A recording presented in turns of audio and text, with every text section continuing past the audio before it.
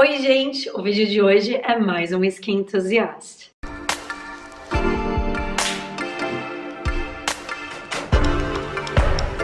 No Skin Enthusiast de hoje eu trago uma resenha nacional, muito pedida por vocês inclusive, como vocês viram pelo título do vídeo, hoje eu vou falar de Creamy.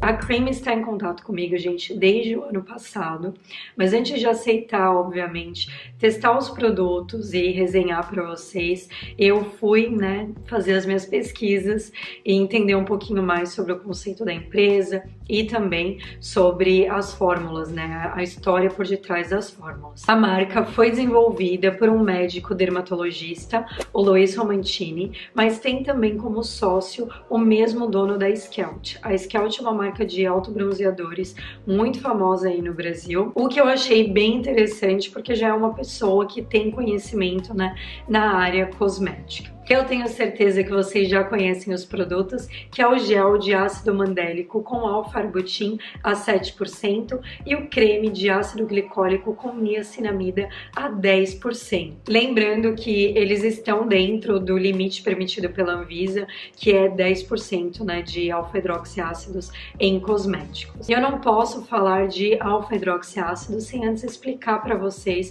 sobre a esfoliação. A esfoliação nada mais é do que o processo de remoção de células mortas da primeira camada da nossa pele, a epiderme. E a epiderme é formada por cinco camadas: a camada basal, espinhosa, granular, lúcida e córnea, mais conhecido como estrato córneo. O estrato córneo é a camada mais externa da epiderme, que tem várias subcamadas de células mortas, e essas células mortas se desprendem regularmente em um processo muito conhecido como como renovação celular. Esse processo de renovação celular acontece naturalmente na nossa pele. No entanto, por alguns motivos, né, esse processo pode ser retardado, se tornando mais lento, e é aí que entra a esfoliação. Existem duas categorias principais de esfoliação, a esfoliação física e a esfoliação química. Existem vantagens e desvantagens nos dois tipos de esfoliação. Por isso que é muito importante você encontrar o seu tipo de esfoliação favorito e levar em consideração que eles agem completamente diferente na nossa pele. Começando pela esfoliação física.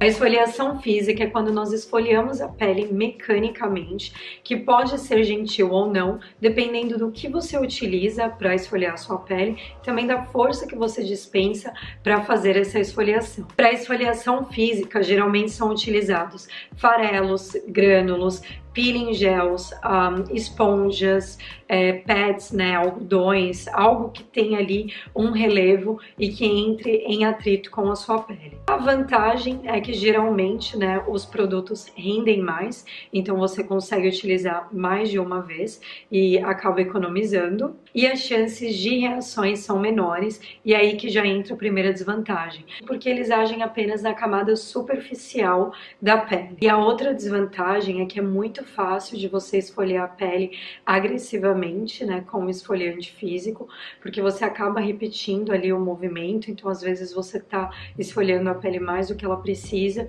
e quando isso acontece, né, pode acontecer microlesões ou inflamações na pele, é, principalmente se o grânulo ou farelo, enfim, que você utilizar for abrasivo, sabe? Pensando nisso, algumas marcas introduziram polietileno nos esfoliantes físicos, que são micropartículas plásticas que não são agressivas à nossa pele, mas são extremamente agressivas ao meio ambiente, né? Estão contaminando os oceanos e prejudicando a vida aquática. Então, por esses motivos que eu acho muito interessante vocês avaliarem né, o uso de esfoliantes físicos. E agora a esfoliação química. A esfoliação química conta com os ácidos ou enzimas para dissolverem as ligações químicas entre as células, removendo as células mortas da pele, uniformizando a textura da pele, clareando e acelerando o processo de renovação celular. Esses são alguns dos benefícios, mas dependendo do ácido, né, ele vai ter algum benefício específico. Agora, as vantagens dos esfoliantes químicos. Eles funcionam de maneira uniforme ao contrário dos esfoliantes físicos, os ingredientes trazem benefícios à pele, ou seja, eles não só esfoliam né, a camada superficial da pele, eles trazem algum benefício à pele. E os ingredientes também atuam além da camada superficial da pele. E as desvantagens, porque sim, nem tudo são flores, eles são fotossensíveis e podem ter alguma ação irritante na pele, né, dependendo da porcentagem do ácido. Os esfoliantes químicos mais comuns são os alfa, beta e polihidroxiácidos, mais conhecidos pelas siglas AHA, BHA ou PHA. Tanto os beta quanto os alfa-hidroxiácidos são queratolíticos, então eles diminuem a adesão dos corneócitos né, na nossa pele e eles também diminuem a hiperqueratinização, em especial o beta-hidroxiácido, né, o ácido salicílico. Então, em suma, eles descolam as células mortas da pele, que deixa a nossa pele sem viço, né, sem luminosidade, com uma textura áspera, muitas vezes até com acne, revelando assim uma pele mais lisinha, mais luminosa e com uma textura mais uniforme, além de favorecer a penetração de substâncias ativas. Os alfa-hidroxiácidos são derivados de substâncias naturais, como cana-de-açúcar, no caso do ácido glicólico, frutas, no caso do ácido cítrico, málico e tartárico, leite azedo, no caso do ácido lático, e amêndoas, no caso do ácido mandélico. Os alfa-hidroxiácidos também estão presentes em muitos cosméticos por causa da ação umectante, né, hidratante que eles têm. E aí, no caso de cosméticos, quando a concentração é baixa, eles estão presentes realmente por causa da hidratação e não por causa da esfoliação. Os alfa-hidroxiácidos são hidrofílicos, ou seja, solúvel em água, e essa informação nos ajuda a entender como os alfa-hidroxiácidos se diferenciam do beta-hidroxiácido ácido. E já que eu tô falando nele, o beta-hidroxiácido, o ácido salicílico, ele é lipofílico, ou seja, solúvel em lipídios, né? Ele se dissolve em lipídios, ele tem afinidade com óleo, ele tem a capacidade de penetrar nos nossos poros e remover o sebo que causa inflamação, por consequência, a acne. Ele auxilia que o nosso folículo não fique obstruído e consiga liberar o sebo que é produzido. Além da ação queratolítica, ele também tem ação anti-inflamatória, por isso ele é o ácido mais indicado para peles oleosas e acneicas. Como os alfa-hidroxiácidos são os ácidos utilizados nos produtos creamy, são neles que eu vou focar, mas se vocês quiserem saber mais sobre isso, se vocês quiserem um vídeo dedicado a isso, comente aqui abaixo, eu posso gravar esse vídeo para vocês. E agora, sem mais delongas, vamos para os produtos. Eu começo com o meu favorito, que inclusive eu falei várias vezes para vocês no Stories, que é o ácido mandélico A7% e alfa-arbutin. Quando eu mostrei ele no Stories para vocês, eu já estava utilizando esse produto. É, a marca me enviou em novembro e foi um momento super propício, porque em outubro eu tive um outro pico de acne. Eu cheguei a mostrar para vocês acnes doloridíssimas e eu tinha voltado com o meu tratamento com o Differin. Falei para vocês que eu fui no DP em julho e o médico me prescreveu de novo o Differin, mas de uma forma de uso completamente diferente com a primeira vez, até mesmo porque eu estava fazendo manutenção, então não era é, como eu estava utilizando antes, a mesma frequência, quantidade, enfim. Então não se baseie no tratamento medicamentoso de ninguém. Pois bem, estava utilizando o Differin e perguntei para o meu GP se eu poderia introduzir o ácido mandélico. Eu sei que o ácido glicólico é o queridíssimo de vocês aí no Brasil. Eu também gosto de ácido glicólico, mas eu confesso, gente, que eu tenho uma quedinha por ácido mandélico, então eu queria começar por ele. E assim que eu recebi o ok do meu GP, eu introduzi o ácido na minha rotina. Antes de falar minha experiência pessoal, eu preciso comentar, óbvio, dos benefícios do ácido mandélico. Ele é derivado das amêndoas amargas, ele possui um peso molecular maior do que as outras moléculas, por isso ele é considerado uma macromolécula, o que torna a penetração dele mais lenta e menos propícia à irritação, por isso muitas peles é, reativas e sensíveis gostam dele. Ele tem a função bactericida, então ele ajuda a eliminar a bactéria que causa acne, sendo um antibacteriano ele age no processo infeccioso, além de trabalhar na cicatrização. Ele também é clareador, ele age por inibição da tirocinase e ele pode ser utilizado por peles morenas e negras, fototipo 4, 5 e 6. Além dos benefícios do ácido mandélico, ele também contém o alfa-arbutin na lista de ingredientes. O alfa-arbutin é um derivado da hidroquinona e é um composto encontrado em mirtilo, cranberry, bearberry, berry, casca de pera e trigo. A hidroquinona, para quem não sabe, é um despigmentante, né, um ingrediente clareador, o clareador mais estudado, considerado o mais potente. No entanto, a hidroquinona é banida em alguns países. Aqui na Europa, desde os anos 2000 ou 2001, também é banido na Austrália e no Japão. Inclusive, no Japão, o alfa-arbutin é considerado um quase drug. Além do alfa-arbutin, ele também contém a latoína, que é um ingrediente que acalma, protege a pele e também tem alguma habilidade cicatrizante, e o propileno glicol, que é um hidratante umectante. Agora, a minha experiência pessoal com o produto. A fórmula em gel, lembrando que nós também encontramos cosméticos com ácido mandélico é, nas versões serums e soluções líquidas, mas esse produto é em gel, um gel viscoso, espesso, que quando você aplica na pele parece que ele vai pesar, mas não. A pele suga rapidamente e ele cria um filme, como se fosse uma película na pele. Esse filme não me incomoda, Inclusive, a minha pele, que é oleosa, não fica repuxando após a aplicação do produto. Eu também não sinto a pele muito seca. Mas, lembrando, a minha pele é oleosa. Pode ser que a sua experiência com ele seja completamente diferente, principalmente se você tem a pele normal ou seca. E também dependendo dos fatores externos, né? Ou seja, o clima que você vive. O produto não contém fragrância, no entanto, ele tem um cheiro peculiar. Não é algo que me incomode, porque ele some após a aplicação, mas você consegue sentir um cheiro diferente. E, enfim, é porque ele não contém fragrância. A primeira vez que eu utilizei o produto, ele me causou vermelhidão, que eu achei super curioso, porque eu já tinha utilizado outros produtos com ácido mandélico e não tive essa reação.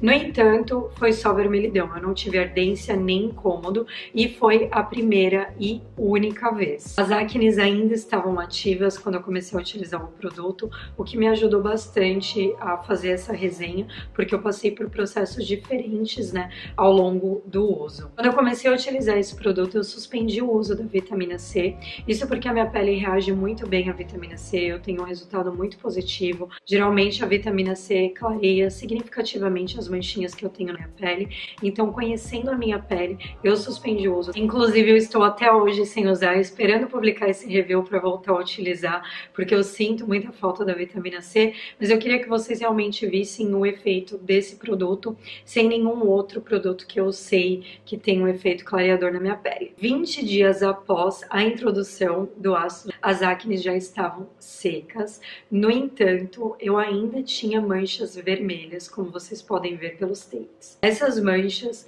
foram diminuindo ao longo do uso. No entanto, elas não desapareceram, elas não sumiram.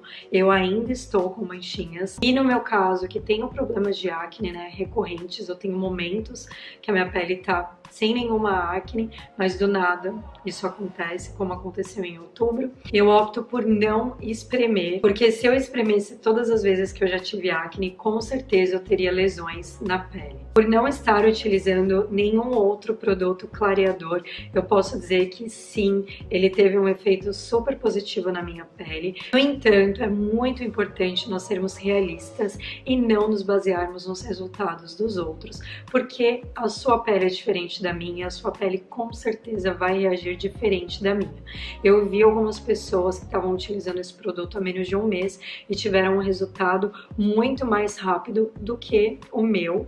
No entanto, com três meses de de uso, eu posso dizer que eu não poderia estar mais contente com o desempenho dele na minha pele, porque ele não só me ajudou a cicatrizar essas acnes, como amenizou significativamente essas manchinhas. Sendo ele o único produto clareador que eu estou utilizando na minha pele, eu acho que isso é um resultado muito positivo. Eu entendo perfeitamente quem sofre de acne e quer literalmente desaparecer com o problema o mais rápido possível, mas o que eu sempre falo para vocês, gente, a consistência é a coisa mais importante. Você pode até utilizar algo mais forte que te dê um resultado mais rápido, no entanto, pode ser algo que você não consiga manter, né? Que você não consiga fazer a longo prazo. Então, eu prefiro muito mais utilizar um produto que me dê um resultado a longo prazo e que eu realmente faço uso, aqui no meu caso, por exemplo, desde quando eu comecei a usar, eu não tive surgimentos de novas acnes. A minha experiência com o produto não poderia ser melhor. Eu fiz uma pausa para introduzir o ácido glicólico, até mesmo para saber, né, qual produto teve determinado efeito na minha pele e vir aqui falar com vocês, e também porque eu acho que vocês sabem, eu não gosto de esfoliar demais a pele, mas eu não vejo a hora para voltar para o ácido mandélico. Agora sobre o ácido glicólico. Entre os alfa-hidroxiácidos, o ácido glicólico é o preferido de muitas pessoas. Ele também é o alfa-hidroxiácido mais estudado. A molécula do ácido glicólico ela é menor e por isso ela penetra mais e mais rápido na pele, se comparado com outros alfa-hidroxiácidos, por exemplo, o ácido lático. Né? A molécula do ácido lático ela é muito maior, então ela penetra mais lentamente na pele, é mais hidratante, mais gentil. Por penetrar mais rápido na pele, o ácido glicólico pode ter alguns efeitos colaterais, dependendo do seu tipo de pele e também da porcentagem do ácido. Lembrando, gente, pode ter. Nesse caso, os efeitos colaterais são pinicação, ardência, enfim, algum incômodo. Então é muito importante vocês saberem disso, porque se você já tem a pele reativa, talvez o ácido glicólico não seja a melhor opção para o seu tipo de pele. O ácido glicólico pode ser encontrado na cana-de-açúcar, beterraba, alcachofra, uva e abacaxi. E ele também é um ácido indicado para pele acneica por ter ação queratolítica. Diferente do ácido mandélico, ele não possui ação sobre a tirocinase, mas ele age em manchas de acne, cicatrizes e hiperpigmentação pós-inflamatória. Ele também funciona como um PrEP, né, como um preparador, porque ele ajuda com que outros ativos penetrem com mais facilidade na pele. E por fim, ele ajuda a manter o microrrelevo da nossa pele nivelado. Eu não diria liso, mas sim nivelado. Na lista de ingredientes, ele também contém niacinamida. Já falei para vocês que a niacinamida é um ingrediente incrível. Eu adoro utilizar produtos que contêm niacinamida, que é a vitamina B3. É um ingrediente estrela, né? Traz vários benefícios à pele, entre eles, ele ajuda a pele na produção de colágeno e ceramidas. Também tem algum efeito em relação à diminuição de poros, hiperpigmentação. Ele também age por inibição de melanina. Além da niacinamida, ele também contém glicerina, que é um ingrediente umectante, hidratante, também contém bisabolol, que é um calmante, e ele também contém parafina líquida, que eu sei que algumas pessoas têm medo. É, em breve vou falar sobre isso aqui no canal, mas você não precisa se preocupar. Sobre o produto, eu estou utilizando esse produto há muito pouco tempo, há duas semanas, então eu vou falar aqui sobre as características dele e não sobre um resultado específico, porque em duas semanas a gente não consegue concluir nada. Diferente do ácido mandélico, ele é um creme e a textura dele é muito diferente, porque apesar de ser um creme, a textura dele é super leve, com uma espalhabilidade incrível. As primeiras vezes que eu utilizei, eu senti um incômodo, uma leve pinicação. Independente do veículo, a minha pele sente essa pinicação com ácido glicólico. Mesma coisa quando eu utilizo tônico, né, de ácido glicólico. É uma pinicação pinicação que eu já estou familiarizada, que não dura muito na minha pele e também não deixa a minha pele vermelha.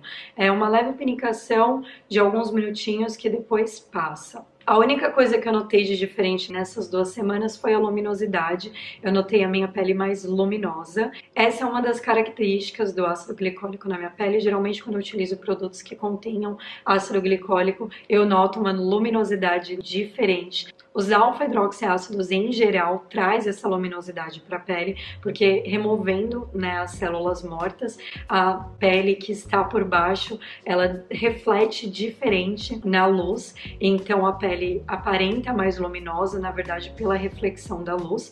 No entanto, com o ácido glicólico, na minha pele, pelo menos, eu sinto essa luminosidade diferente dos outros alfa-hidroxiácidos. De novo, gente, eu não utilizei o produto há muito tempo, então é só isso que eu posso falar no momento, né, para vocês sobre ele. Vou continuar utilizando. Confesso que eu quero voltar pro ácido mandélico para terminar o produto. Eu tenho isso, eu não gosto de ter dois produtos com a mesma finalidade abertos e tipo os dois pela metade, sabe? Então, como os dois são alfa-hidroxiácidos, eu vou voltar pro ácido mandélico terminar o ácido mandélico e aí depois eu vou concluir o uso do ácido glicólico. Lembrando que essa é a forma que eu gosto de fazer o uso de ácidos, tá? Essa é a forma que eu sinto que a minha pele reage melhor, mas isso não significa que você tem que fazer o mesmo.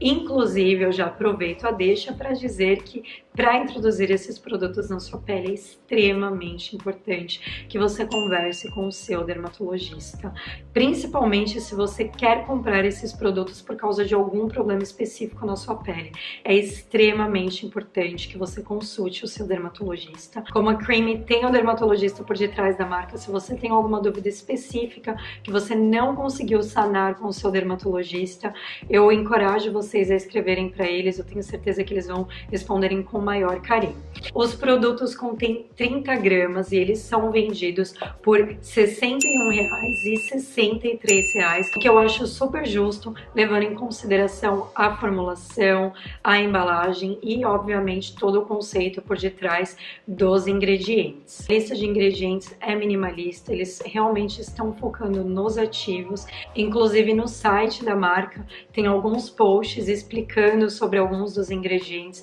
que as pessoas mais evitam em cosméticos e eles estão desmistificando esses ingredientes. A Creamy me convidou para resenhar esses produtos, então esse vídeo é um vídeo patrocinado, o primeiro vídeo patrocinado inclusive do canal, e eu achei muito bacana que a Creamy confiou tanto nos produtos deles, que eles me deixaram à vontade para falar absolutamente tudo que eu queria com vocês. Independente do vídeo ser patrocinado ou não, vocês sabem que a minha opinião é sempre sincera e honesta com vocês, e os resultados não mentem, né? Então vocês puderam acompanhar aí esses três meses de evolução junto comigo. E sim, a Creamy disponibilizou um cupom de desconto especial para vocês, mas antes de falar esse cupom de desconto, eu preciso enfatizar que você tem que utilizar protetor solar. Independente de utilizar ácido ou não, o fotoprotetor é indispensável. E quando você faz o uso de ácidos, você precisa de proteção solar dobrada. Então, não se esqueça do protetor solar. O cupom de desconto que a Cream disponibilizou é esse que está passando aqui na tela. Se você gostou desse vídeo, não se esqueça de clicar em gostei, por favor, é muito importante, me ajuda muito na divulgação do vídeo. Não se esqueça de compartilhar o meu conteúdo. Vocês sabem que eu tô com o objetivo de chegar aos 100 mil seguidores, eu preciso muito de vocês para isso. Beijo grande, fiquem com Deus, vai cuidar da tua pele, não se esqueça do protetor solar e eu vejo você no próximo vídeo.